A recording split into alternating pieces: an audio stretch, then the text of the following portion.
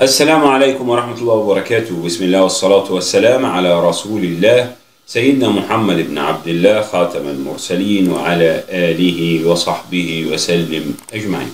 بسم الله ما شاء الله لا قوة إلا بالله. أستغفرك ربي وأتوب إليك. أستغفر الله الذي لا إله إلا هو الحي القيوم وأتوب إليه. في البداية كل سنة وحضراتكم بألف خير وصحة وسعادة.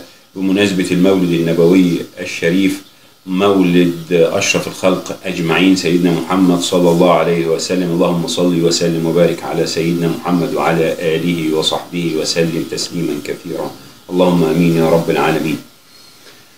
أسامة خليل أسامة خليل أول ما تسمع الاسم اسم بما إننا بنتكلم عن كرة القدم فهو اسم مرتبط بلاعب نادي الإسماعيلي السابق كابتن أسامة خليل اللي طبعا كل شوية يطلع لك أنا أول محترف احترفت وأنا طبعا الكابتن صالح سليم كان احترف قبل منه في النمسا لكن أول محترف احترفت في أمريكا وأول. ولما تسمع إن الكابتن أسامة خليل تولى رئاسة نادي غزل المحلة ممكن يتبادر إلى ذهنك مثلا شركة كرة القدم بنادي غزل المحلة. آه عندها شركة لكرة القدم نادي غزل المحلة. لكن لا طلع أسامة خليل لاعب الكرة ولا طلع شركة كرة القدم. طلع أسامة خليل الصحفي الزملكاوي اللي كان الذراع الأيمن لمحمود طاهر في النادي الأهلي.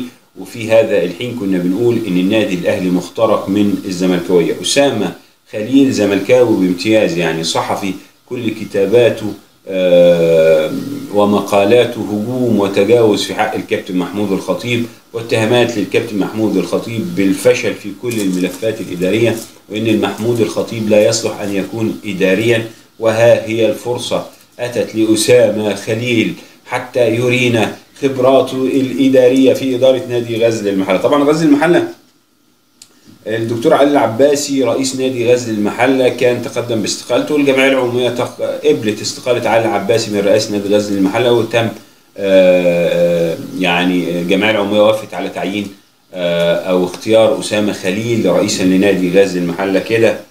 نادي الزمالك ضمن النقطتين بتوع أو المباريتين بتوع غزل المحلة. زملكاوي صرف صرف ما فيش فيها كلام. أنا بستغرب بصراحة إزاي جمعيه العموميه غزل ما هتختار أسامة خليل يعني. معروف انتمائه ومعروف لكن هم أضرب بمصالحهم يعني. على الجانب الآخر حسام حسن خد الموضوع على محمل الجد. بيقول لك إحنا هنا يعني بنهزر وبناخد الجد الهزار جد والجد بناخده هزار يعني عندنا. كان مهيب عبد الهادي بيلعب مع ياسر ريان وبشير التابعي وجايب مقارنة. أنا شايفها مقارنة سخيفة. مع احترامنا لحسام حسن وتاريخه ما ينفعش تقارن حسام بهالاند يعني. هالاند الواد بيقول لك عايزين يرحلوه إنجلترا مليون و800 ألف صوت زي ما قلت لحضراتكم للبرلمان عشان يتم ترحيله من إنجلترا علشان بيقول لك إن ده مش بشر ده روبوت. روبوت. بيقول لك روبوت. فحسام حسن بعد الكلام اللي وطبعا بشير وياسر قال لك حسام حسن طبعا طبعا أفضل من هالاند. طلع حسام حسن بيقول لك إيه؟ حسام حسن هالاند قماشة تانية. ما بيتكررش كتير. هو أحسن مهاجم في العالم. ومقارنتي بيه شرف كبير. هو مين اللي قارن يا عم؟ ده مهيب قاعدين بيلعبوا. بناخد الكلام زي بقول على الهزار نقلبه جد ونحط مقارنة مين يا عم؟ حسام مع احترامنا ليك ولتاريخك. أنت زي الفل. لكن ما فيش أي وجه بنهزر يا جماعة. واحد بيلعب في أعلى سيبك من بيلعب. طريقته وتحركاته والقوة البدنية الواد ما بي يعني يرفش أو تروح يعني في لعيبة بتاخد الكورة تروح مايله يمين مايله ده بيمسك الكورة رايح على المرمى على طول بصحته هو وظروفه بقى.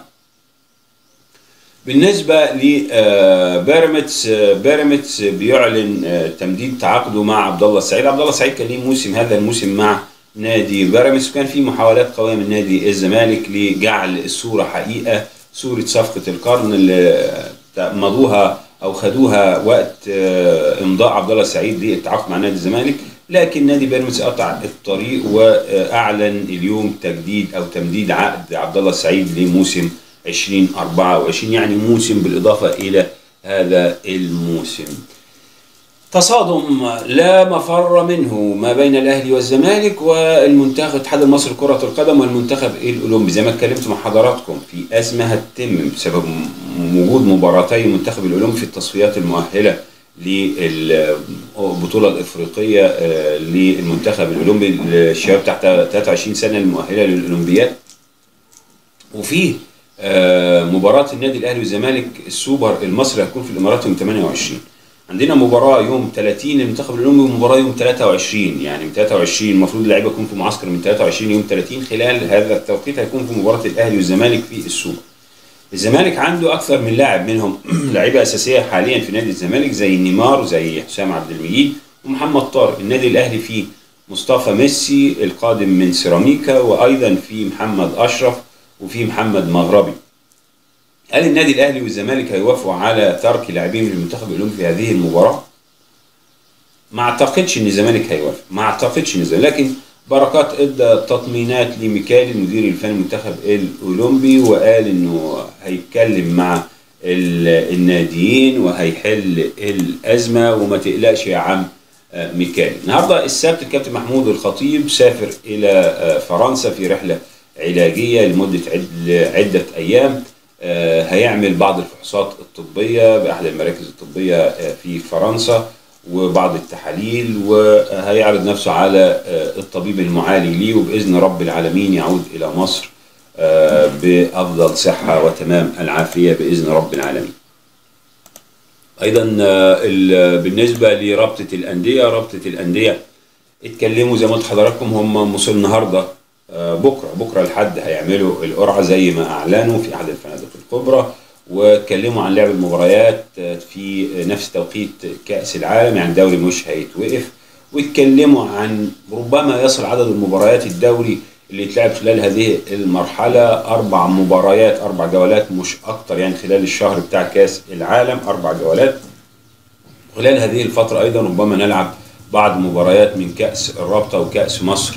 القديم. آه أصبح قديم لأن إحنا هنبدأ موسم جديد بكاس جديد لكن الكاس بتاع الموسم الماضي آه، لسه ما تلعبش تلعب منه بعض المباريات ويا عالم هيتم استكماله ولا نخش على الجديد على طول؟ أنا بقول نلغي ونخش على الجديد على طول يعني لأن إحنا اللي فات ما تلعبش منه مباريات كثيرة يعني. نادي الوحدة الإماراتي أعلن عن آه، تعاقد مع أحمد رفعت لاعب نادي فيوتشر لمدة موسم على سبيل الإعارة والكابتن خالد بيومي طبعا محلل على قنوات آه، أبو ظبي الرياضية ومقيم في الإمارات. قال انتقال أحمد رفعت لنادي الوحدة الإماراتي مكسب كبير لرفعت والنادي الوحدة أتمنى التوفيق للاعبين المصريين والعرب داخل الدوري الإماراتي. كل التوفيق لكل لاعبينا في كل مكان في العالم خارج مصر. وداخل مصر كل التوفيق للنادي الأهلي إن شاء الله فقط. بالنسبة لكارلوس كروش ما بيفوتش فرصة غير لما زي ما يقولوا كده يهزق الاتحاد المصري لكرة القدم على المعاملة اللي عملوه بيها. بيقول لك أنا كرهت الاتحاد ده وكرهت اتحاد الكرة الم- وكرهت الكرة المصرية بسبب الراجل أبو شنب أبو شنب ده هو الراجل جمال علام. بيقول لك أسلوب وحش قوي ده اسمع الكلام يقول لك يعني ياكلوا معاك وما يدفعوش الحساب ويطلعوا يشتموك. الراجل كيروش علمناها إيه؟ علمناه الأدب. ده لسه ليه فلوس. بيقول لك اتكلم كارلس كيروش في تصريحات ليه. قال إنه ليه 25 ألف دولار دولار باقي من مستحقاته المتأخرة لدى الاتحاد المصري لكرة القدم. وكان قال إن هو هيجي مصر. كابتن ضياء كان أعلن ذلك في تويته ليه لكن قال بسبب ارتباطه وفترة إعداد مع منتخب إيران استعدادا لكأس العالم قال آه، إنه هيحاول يصل إلى القاهرة في أقرب فرصة يعني ربما بعد كأس العالم. ونفى إنه وصل لاتفاق مع مسؤول الجبلاية حول آه، سداد هذه المستحقات. 25000 دولار مش حكاية حازم. يعني انت جايب لنا فيتوريا بياخد له مبلغ وقدره يعني حزومة يعني بتهزر. ادوا الراجل حقه يا حازم بقى يا إما يروح يشتكينا بشكلنا كفاية بقى الزمالك آه، خلى الكرة المصرية شكلها مش لطيف بره. انت كمان الاتحاد المصري يعني هو كل الزملكاويه كده يعني؟ قال لك ما وصلناش لاتفاق وقال آه، إن بشعر بالأسف على مواطني فيتوريا المدير الفني لتعامله مع مسؤولي الجبلية في مصر فهؤلاء من الممكن أن يأكلوا من مطعمك أو يأكلوا في مطعمك ولا يدفعون لك الحساب وحتى لا يوجهون لك الشكر. لا أستطيع ما أقدرش أقول له حاجة في فيتوريا فده مش شغلي وبأكد إنني سأزور مصر قريبا. إجلد يا كارلوس كيروش هؤلاء يستحقون الجلد. حاله من الغضب من جماهير نادي الزمالك تجاه الكابتن حلمي طولان بعد ظهوره مع شوبير بالأمس. واتكلم الكابتن لما سئل عن آه، عرض لو في حالة عرض النادي الأهلي تولي تدريب النادي لك بكل تأكيد هوافق. مين يقدر يرفض طلب بتدريب النادي الأهلي يعني؟ وبرضه للزمالك لو اتعرض عليها هوافق طبعا يعني.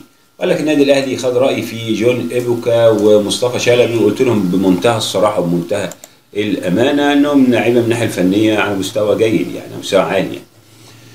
الفريق الأول كره القدم بالنادي الأهلي بيختتم تدريباته اليوم في تونس على ملعب مصطفى بن جنات بمدينة المنستير, استعدادا لمباراة الاتحاد المنستيري المقرر لها غدا إن شاء الله الساعة 4 عصرا بتوقيت القاهرة. وأدى النادي الأهلي تدريباته أمس على ملعب المراضي أحد ملاعب مجمع القنطاوي بولاية سوسة وقبل انطلاق المران عرض مارسيل كولر محاضرة نظرية للاعبين داخل الملعب.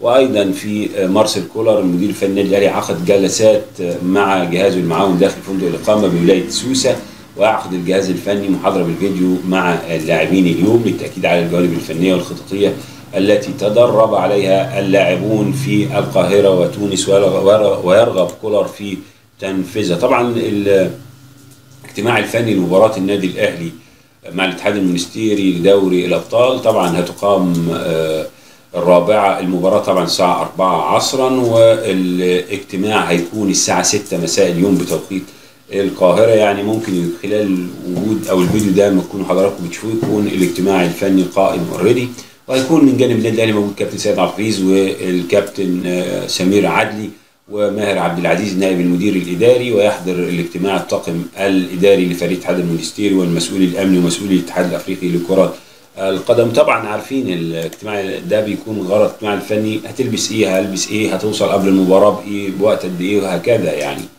رافت خليل لاعب النادي الأهلي موجود في القائمة الإفريقية وموجود مع النادي الأهلي في تونس. قال لك الأهلي قادر على تحقيق نتيجة إيجابية أمام الاتحاد المونستيري. والأهلي منذ قليل غادرت فندق الإقامة لخوض النادي الأهلي بعث النادي الأهلي لملعب مصطفى بن جنات اللي هيستضيف المباراة ملعب مصطفى بن جنات اللي هيستضيف المباراة المقرر ليها الرابعة عصرا. كل التوفيق. وده يعني المران الأخير للنادي الأهلي قبل المباراة غدا. كل التوفيق للنادي الأهلي. في النهاية شكرا على حسن متابعة حضراتكم ودمتم في أمان الله ورعايته. والسلام عليكم ورحمة الله